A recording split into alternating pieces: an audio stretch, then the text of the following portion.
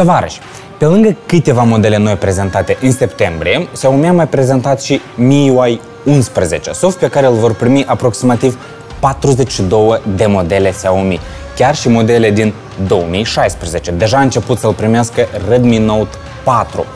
Păi iată, schimbări sunt puține, sunt minore, dar te asigur că vei avea o experiență cu totul diferită. Primul pe lista noastră de astăzi este Dark Mode.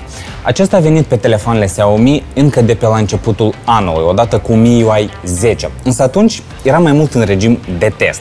Însă acum această opțiune vine în pereche cu Android 10 și în așa mod se integrează perfect nu doar în sistem, dar și în aplicațiile unde dezvoltatorii nu au prevăzut acest lucru.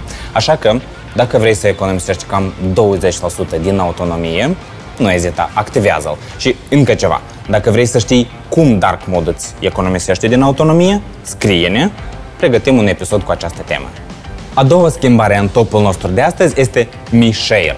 Pentru cei care nu folosesc Mi Share ca și mine și nu știu ce mai este și asta, Mi Share este o aplicație pentru transfer date între dispozitivele Xiaomi. Laptop, televizor, telefon și așa mai departe. Nu este o aplicație nouă, alți producători au și ei varianta lor similară. De ce anume Mi Share ne-a atras nouă atenția? E faptul că Xiaomi a făcut-o compatibilă cu telefoanele altor producători, cum ar fi Vivo, Oppo sau Realme. De ce anume acești producători? De ce Huawei nu face parte din această listă? Eu idee nu am. Cert este că s-a făcut primul pas pentru cooperare între producători. Punctul 3 și 4 sunt două inovații care se completează una pe alta. Pentru început, aceștia au inventat un font nou și zice Milan Pro.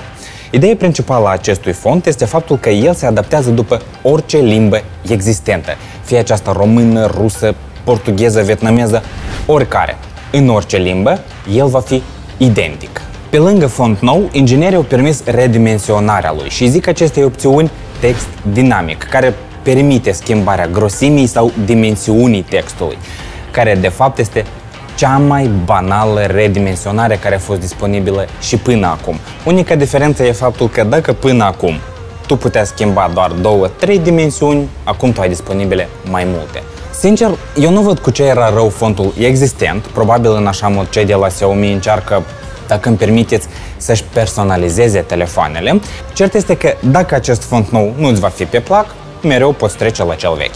Pe lângă schimbările de soft, Xiaomi a mai prezentat și câteva aplicații noi. Dintre toate, nouă ne este interesantă doar Mi Work, pentru că toate restul aplicațiilor sunt disponibile doar pe teritoriul Chinei. Mi Work este o alternativă pentru Word, Excel, PowerPoint și toate restul aplicațiilor similare. Unica diferență este că de acum înainte producătorul o instalează din cutie. Nu va mai fi necesar să faci tu asta separat. Și desigur că, iarăși, ea va fi compatibilă cu toate dispozitivele Xiaomi, fie aceste televizor, smartphone, proiector și așa mai departe. Punctul numărul 5. Always On. A fost și ăsta în sfârșit înnoit pentru că el doar a fost prezentat nu de mult, vreo 40 de ani în urmă. Uite, au apărut câteva variante de interfețe noi, ca interacțiunea ta cu telefonul să fie mult mai informativă și, de ce nu, mai plăcută. Desigur că unele din ele tu le poți customiza, le poți customiza după gustul tău propriu, așa că să-ți fie ție mai bine pe suflet, sau, de ce nu, poți crea varianta ta unde vei indica orice text dorești tu. De exemplu, mie îmi place Samsung. 6. Efecte sonore noi. Toate efectele sonore au fost înlocuite și pentru noile sunete, băieții de la Xiaomi s-au inspirat din natură. Astăzi este la modă să te inspiri din natură. Natura este totul pentru noi. Care este ideea? Bazându-se pe anumiți factori, cum ar fi locație sau zilele săptămânii sau anotimpurile, de ce nu, telefonul te va trezi sau telefonul singur va decide cu ce melodie să te trezească dimineața. Asta este un exemplu. De exemplu, tu ai adormit la bunica pe cuptor. Păi iată, telefonul te poate trezi cu o melodie de Crăciun. Nu-i nimic, că de fapt afară este vară, dar ideea tu ai înțeles-o. Sau deșteptător conform zilelor săptămânii, moment în care telefonul te va trezi cu câte o melodie nouă pentru fiecare zi. Util? Probabil, dar cu siguranță este foarte interesant. 7. Wallpaper-uri noi. Toate cele de pe MIUI 10 au fost înlocuite cu altele noi, moderne, frumoase, care, desigur, ce? Au fost inspirate din natură.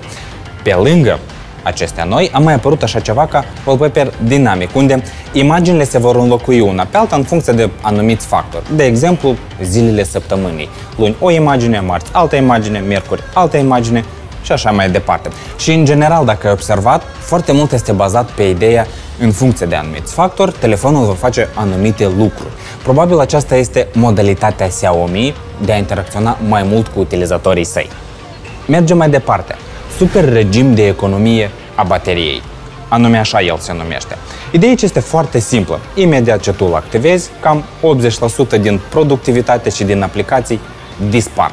Dar partea bună în tot asta este că cu 10% rămase din baterie, telefonul ar fi capabil să mai funcționeze peste 5 ore.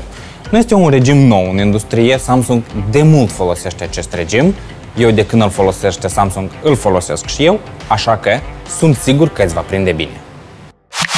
Next Level U. Enter.